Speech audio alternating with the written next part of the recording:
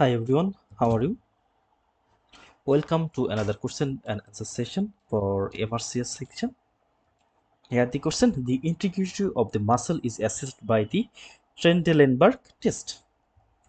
So it is one of the direct question that integrity of the which muscle is tested during the Trendelenburg test. Here the options, options are sartorius, quadris, quadratus femoris, semimembranosus, gluteus medius and piriformis. So let's see the Trendelenburg test. So in this first picture, we can see a man is walking when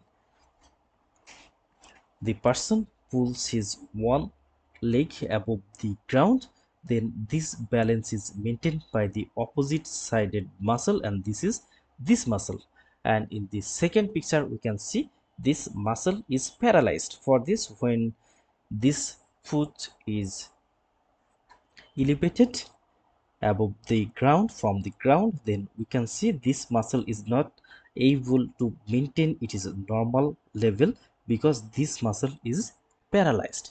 So we have to find out name of this muscle. We can see in the second picture this is the muscle and this is gluteus medius muscle. So this point is very very important. The gluteus medius muscle it maintains balance during the foot located in the above part. The opposite side gluteus medius it maintains its normal level. And in the second picture we can see this is the weak gluteus medius muscle.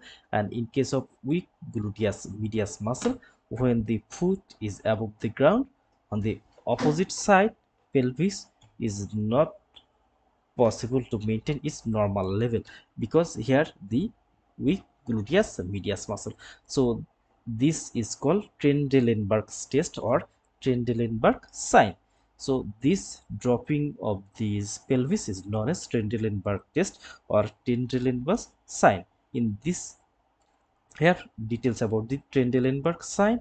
Here we can see weakness of the thigh abductors which is mainly by the gluteus medius and partly by the gluteus minimus and it is supplied by a nerve and this nerve is the superior gluteal nerve. This nerve is the superior gluteal nerve. And test by having patient standing one leg and pelvis shakes on the contralateral side when standing on the affected leg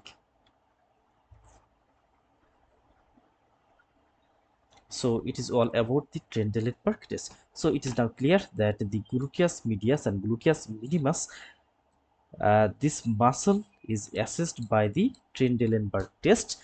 And it is if it is positive then it is known as Trendelenburg sign. So our answer is gluteus medius and it is supplied by the superior gluteal nerve. So superior gluteal nerve it supplies the gluteus maximus which uh, causes the stability of the hip during uh, one leg above the ground and so paralysis of the gluteus medius muscle or injury to the superior gluteal nerve may cause the Trendelenburg test positive or Trendelenburg sign. Thank you all.